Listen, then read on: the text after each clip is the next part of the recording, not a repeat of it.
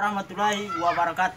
Kami atas nama pemuda Dusun Jiku Besar menentang adanya hoax serta mendukung sepenuhnya Polres Pulau Buru untuk menindak para pelaku hoax dan ujaran kebencian.